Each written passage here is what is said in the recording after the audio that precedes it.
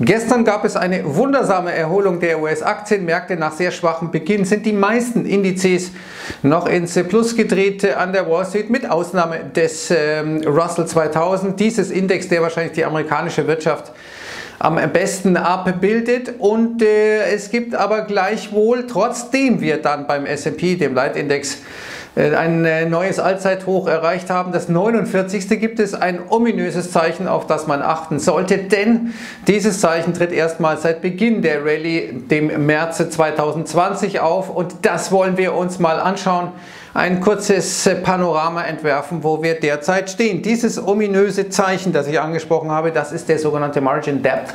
Das ist also die Hebelung, die die Amerikaner hier in ihren Depots haben. Und das erste Mal seit März 2020, als der Tiefpunkt der Corona-Crash-Situation war, sehen wir, dass der Margin Debt rückläufig ist. Wir hatten es schon im letzten Monat, ist er nur ein bisschen gewachsen, so wenig wie auch noch nie zuvor und jetzt sehen wir das erste Mal ähm, einen richtigen Zacken nach unten. Jetzt kann man sagen, okay, das ist eine Zahl und das stimmt, das ist natürlich jetzt noch nicht so aussagekräftig, aber es zeigt im Mindesten, dass ein paar Chips vom Tisch genommen werden, dass die Hebelung nicht mehr so äh, groß ist. Und ich habe mir in einem Artikel, den ich glaube ich vor fünf Jahren geschrieben habe, mal die äh, Margin Debt Historie angeschaut, also diese Hebelungshistorie.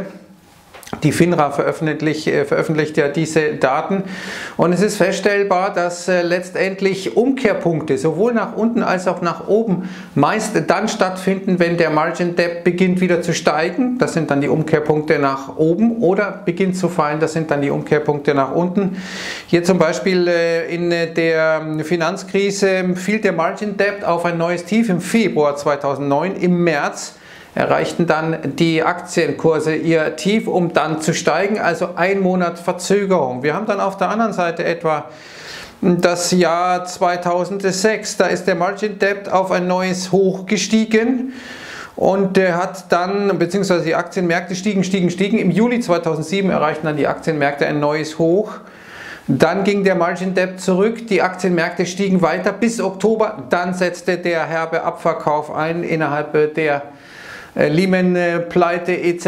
etc. Also wir sehen auch hier in dieser Grafik unten von Wall Street, es gibt einen Zusammenhang zwischen Margin Debt und äh, eben den Aktienkursen. Wenn der Margin Debt steigt und die Aktienkurse fallen, ähm, dann ist das ein gutes Zeichen. Wenn die Aktienmärkte steigen, aber der Margin Debt fällt, dann ist das ein Warnzeichen. Muss sich nicht sofort auswirken. Das ist jetzt nicht gesagt, dass heute die Kurse fallen, dass morgen die Kurse fallen, aber man sollte darauf achten, dass da etwas im Busch ist, dass da etwas stattfindet und muss sich diese Daten auch des nächsten Monats anschauen. Wenn sich das bestätigt, dass der Margin Debt weiterfällt, dann zeigt das, dass hier ein Enthebelungsprozess und ein ähm, Liquiditätsprozess der Fall ist, der wirklich zu beachten ist. Schauen wir uns mal die Wirtschaft an und dann sehen wir, ja, es geht bergab, muss man leider so sagen. JP Morgan Real GDP Forecast für, für global und für Asien, vor allem für Asien, geht es deutlich nach unten. In den letzten Tagen und Wochen City Economic Surprise Index für die zehn führenden Wirtschaftsnationen auch ins Negative gedreht. In den USA ist dieser Index ja auch schon negativ und wir sehen heute die Einzelhandelsumsätze in den USA, die ja so wichtig sind für die US-Wirtschaft, weil, sie, weil der Konsum 70 Prozent äh, abbildet äh, des BIPs und wir sehen die Konsenserwartung ist bei minus 0,2 Prozent. Ähm, Bank of America geht aber davon aus, dass wir minus 2,3 Prozent sehen werden, dass die Daten also schlechter werden. Erinnern wir uns, wir haben am Freitag den, äh, das Verbrauchervertrauen der Uni Michigan gesehen mit diesem herben Einbruch, dem äh, stärksten Einbruch äh, seit äh, mindestens zehn Jahren. Das hat es so ganz, ganz selten gegeben und wir sehen auch Kreditkartendaten von JP Morgan hier oben, Restaurants, Airlines, Lodging, geht alles zurück, eben wegen Corona weil eben diese Delta-Variante auch in den USA das Verhalten offenkundig wieder beeinflusst und möglicherweise dann auch auf die Zahlen jetzt der Einzelhandelsumsätze, die um 14.30 Uhr kommen bei Finanzmarktwelt, meine Damen und Herren, schauen Sie da mal rein, beeinflussen wird. Jetzt haben wir eigentlich bullische Charts nach wie vor, gar keine Frage. S&P 500, Dow Jones äh, und äh, der Nasdaq, aber wir haben eben auch eben diesen Russell 2000 hier als äh, ETF der IWM, IWM also. Und wir sehen, dieser Index sieht nicht so gut aus. Wir sind schon seit Monaten in einer Seitwärtsbewegung. Wie gesagt, dieser Russell 2000 ist so ein bisschen, weil er sehr stark auf Binnenwirtschaft konzentriert ist, so ein bisschen ein Spiegel vielleicht, der beste Spiegel der amerikanischen Konjunktur, weil da eben jetzt weniger Großkonzerne drin sind, die weltweit operieren, sondern viele, die eben nur in den USA operieren. Wir sehen, dieser Index ist schon lange in einem seitwärts Move und jetzt ziehen sich die Bollinger Bänder extrem zusammen und das bedeutet normalerweise kommt da ein großer Move. So wie es aussieht derzeit kommt der Move nach unten. Es kann aber auch natürlich nach oben sein, aber so von der Struktur her sehen wir, dass wir jetzt kurzfristig einen Aufwärtstrend gebrochen haben. Die technische Situation verschlechtert sich und wir sehen auch, dass dieser Russell 2000 eben auch schwächer ist als die anderen Indizes. Normalerweise sind die Small Caps eine Art Frühindikator. Aber wie gesagt, das kann sich hinziehen, das muss nicht sofort passieren. Es ist nur sprechend, dass eben hier manche Dinge schon so ein bisschen Warnzeichen geben. Wir sehen, dass die defensiven Sektoren sehr stark laufen, wie Utilities zum Beispiel auch gestern wieder. Vorwiegend defensive Sektoren, die sehr gut gelaufen sind ähm, Utilities, Real Estate, äh, all diese eben, äh, die sonst normalerweise gesucht sind, wenn Risk-Off der Fall ist. Gleichwohl eben gestern der S&P 500, äh, dann äh, das vollendet, äh, was im März 2020 begonnen hat, ist um 100% gestiegen seitdem und das ist die kürzeste Frist, in dem der Index äh, jemals sich verdoppelt hat. 354 Tage hat es gedauert.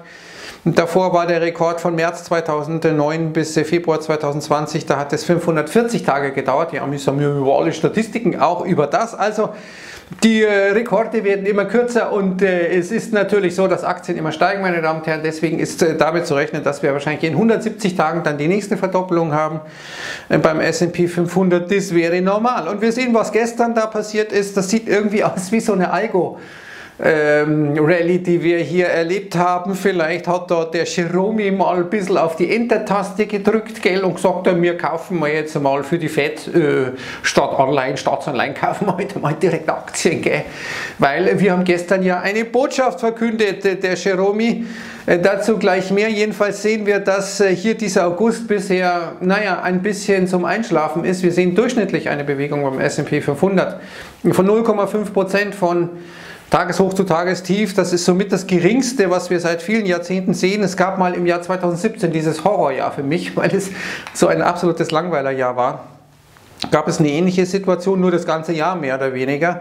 Insgesamt sieht man normalerweise einen Drawdown, also einen, eine Korrektur in jedem Jahr von durchschnittlich 14 Prozent. Wir hatten jetzt diesmal maximale 4 Prozent. Das äh, gab es äh, nur 1980, 1995 und 2017. Also es äh, ist so ein Markt, wo keiner raus will, aber wir sehen eben da erste Anzeichen, dass sich die Dinge verschlechtern. Könnte auch damit zusammenhängen, dass äh, die FED bald agieren wird. Heute Abend, äh, ich glaube 19.30 Uhr, eine Rede von Jerome Powell. Da wird man sehen, ob er vielleicht im September schon hier oder den, den Weg bereiten wird, dass im September offiziell verkündet wird.